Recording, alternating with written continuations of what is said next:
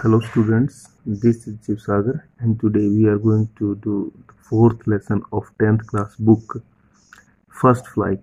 Name of the lesson is Anne Frank from the diary of Anne Frank and it is a third part.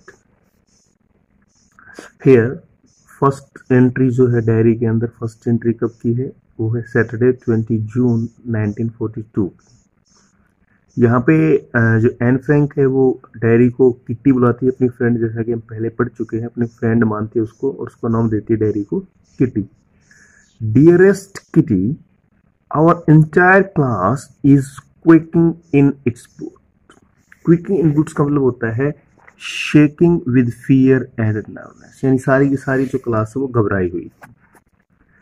The reason of course, is the forthcoming meeting in, with the teachers. और reason क्या था कि आने वाली जो meeting थी teachers के साथ decide who will move up to the next form कि कौन सा बच्चा जो है वो अगली क्लास में जाएगा and who will be kept back और किस बच्चे को पीछे रखा जाए, यानी कौन बच्चा पास होगा, कौन बच्चा फेल होगा।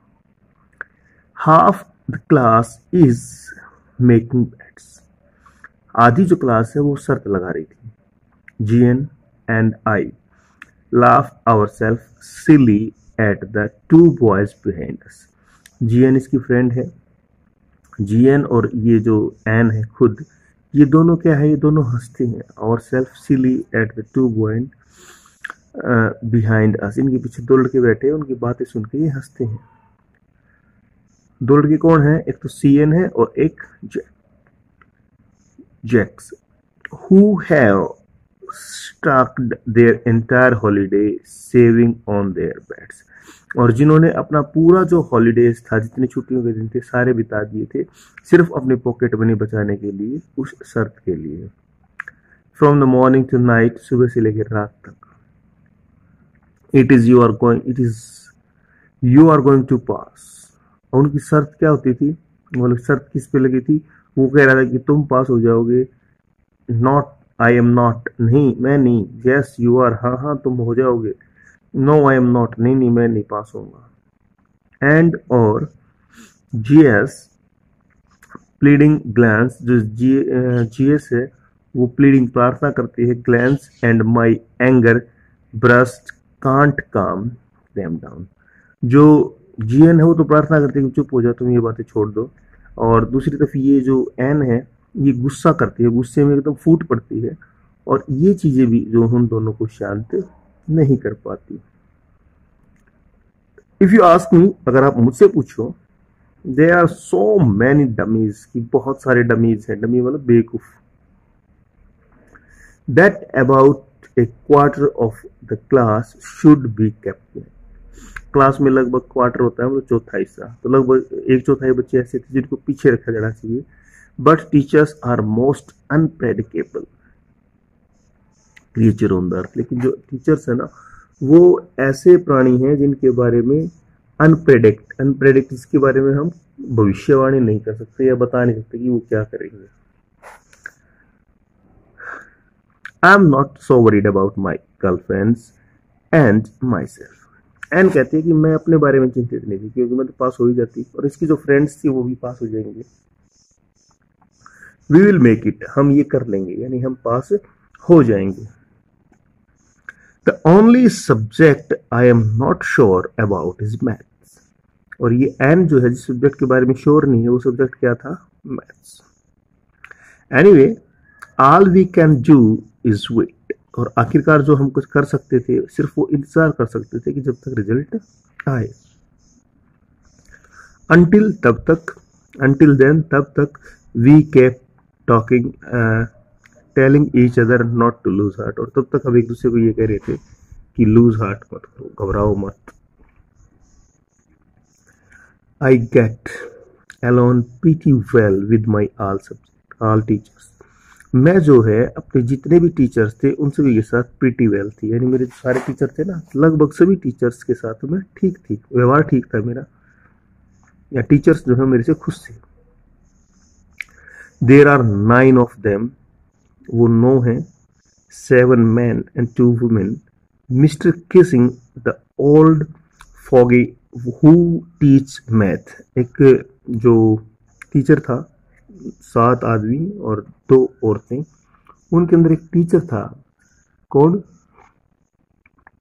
Mister Keesing.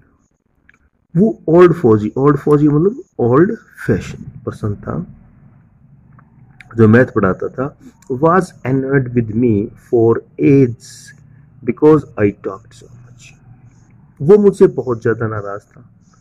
काफ़ी टाइम से नाराज़ था। क्यों नाराज़ था? क्योंकि मैं टॉक सो मच बातें करती थी। आफ्टर सेवरल वार्निंग्स बहुत सारी वार्निंग्स के बाद। पहले उसने जब वार्निंग दी क्लास में, बात मत करो मत करो, उसके बाद ही ही असाइन मी एक्स्ट्रा होमवर्क उसने मुझे एक्स्ट्रा होमवर्क दिया an essay on subject a chatterbox chatterbox होता है जो हर टाइम बक बक करता रहता ना। तो उसने मुझे ऐसे लिखने दिया किसके ऊपर? चैटर बॉक्स के ऊपर। A chatterbox what can you write about a chatterbox एक बतौनी के बारे में आप क्या लिख सकते हो? I wouldn't I would worry about that later मैं उसके बारे में बाद में सोचूँगी, चिंता करूँगी। I decided I jotted down jotted down का मतलब होता है write down I jotted down I write down the title on my notebook मैंने अपनी नोटबुक पे नाम लिखा वो। And tucked it in my bag और इसे अपने बैग में डाल लिया। And try to keep quiet और शांत रहने की अब एक्स्ट्रा काम मिल गया ना? कि वो ज़्यादा बोल रही थी, उसको काम मिल गया। अब वो चुप रहने की कोशिश करती है। That evening after I had finished the rest of my work जब मैंने अपना सारा काम खत्म कर लिया the note about the essay caught my eyes वो जो नोट लिखा था इसने वो ध्यान करें कि यार ये ऐसे भी लिखना है।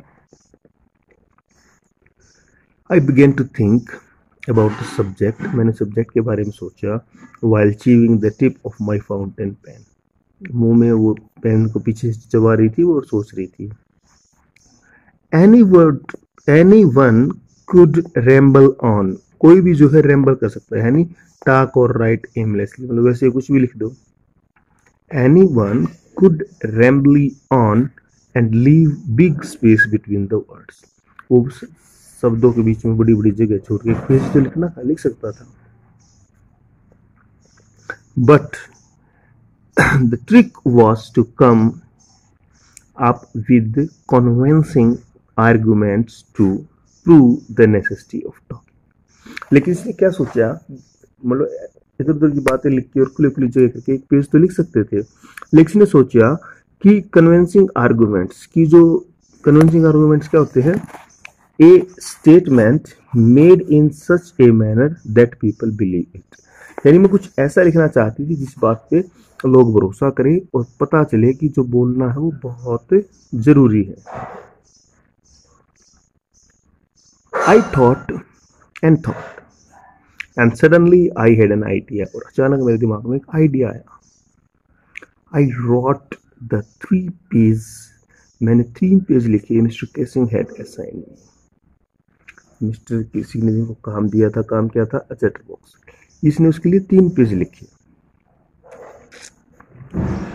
एंड वॉज़ सेटिस्फाइड और मैं सेटिस्फाइड थी। अब क्या लिखा इसने?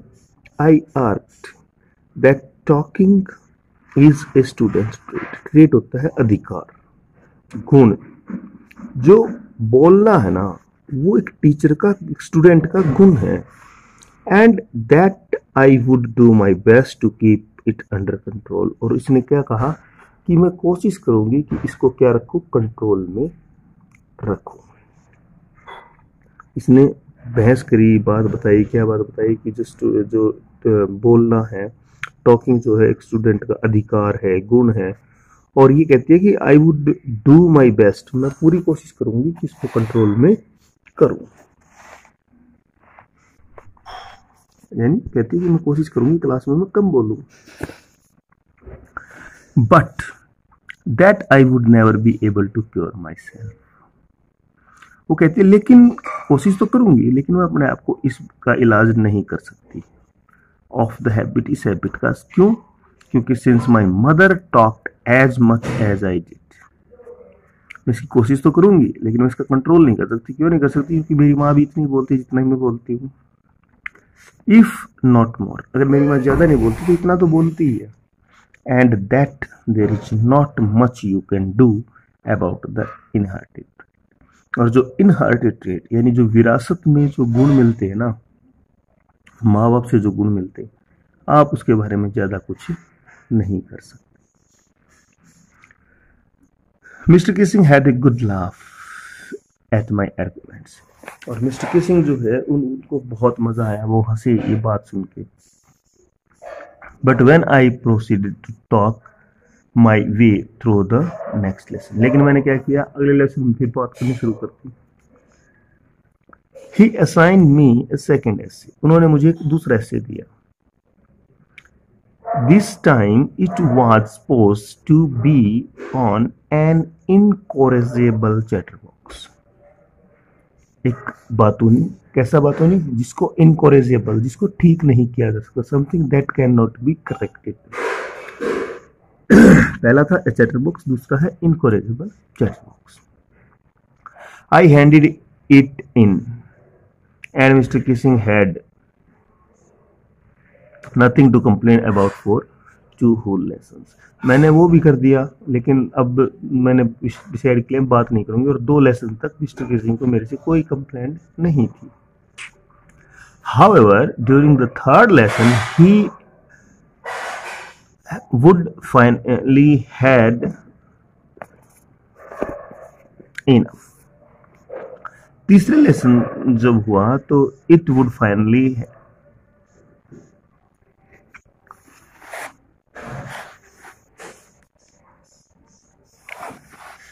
I handed it in and mister Keesing had nothing to complain about for two whole lesson और मैंने ऐसा किया और अब दो लेसन तक मिस्टर किशिंग को कंप्लेन करने का कोई मौका नहीं मिला। However during the third I had finally had enough. मेरे लिए बहुत हो गया था. And Frank, as punishment for talking in essay in the class, write an essay entitled Quack Quack quack said mistress chatterbox अब दो लेसन तो बोले नहीं लेकिन तीसरे लेसन में इसने बोलना शुरू कर दिया. अब इस बार पनिशमेंट के लिए लेटर कैसे लिखने को मिला उसको? Quack quack quack said mistress chatterbox the class roared roared मतलब दहाड़ी यहाँ पे मीनिंग हंसना। जो क्लास है वो बहुत तेज हँसी। I have to laugh I had to laugh मुझे भी हंसना पड़ा। Though I had early my ingenuity on the topic of the chatterbox क्योंकि मेरी जो इंजॉयटी थी, जो ज्ञान था इस टॉपिक के ऊपर चैटर बॉक्स के जो टॉपिक है उसके ऊपर वो ख़त्म हो चुका था।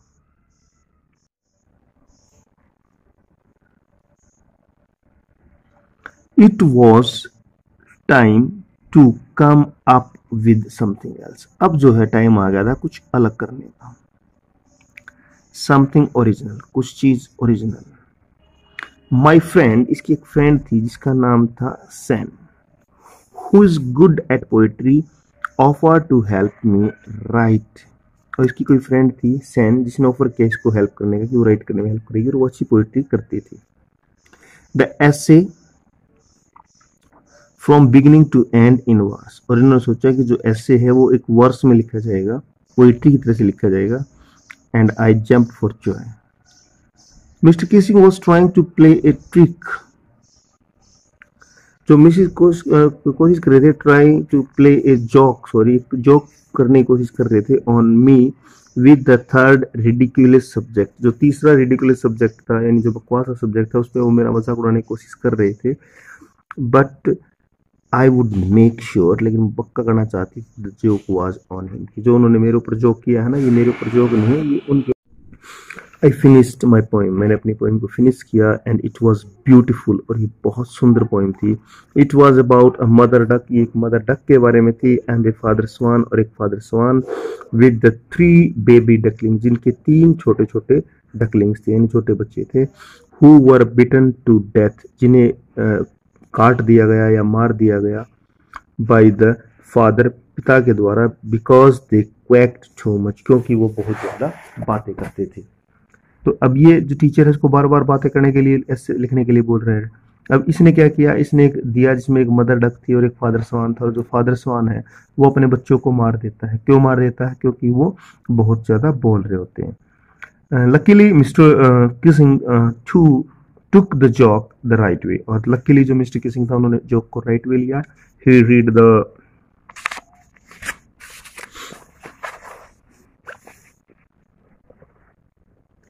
he read the poem in the class उन्होंने क्या किया? क्लास में पोइम को रीड किया।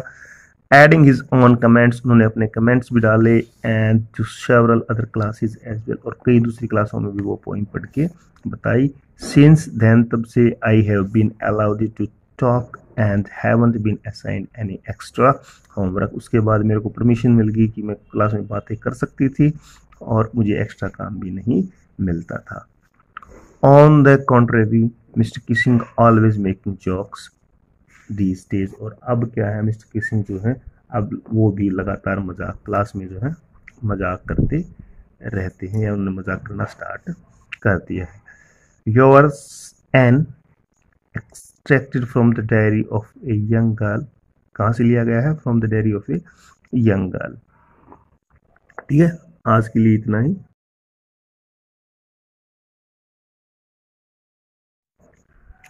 ओके आज के लिए इतना ही। अगर वीडियो अच्छी लगी तो लाइक शेयर और सब्सक्राइब करना ना भूलें। Thank you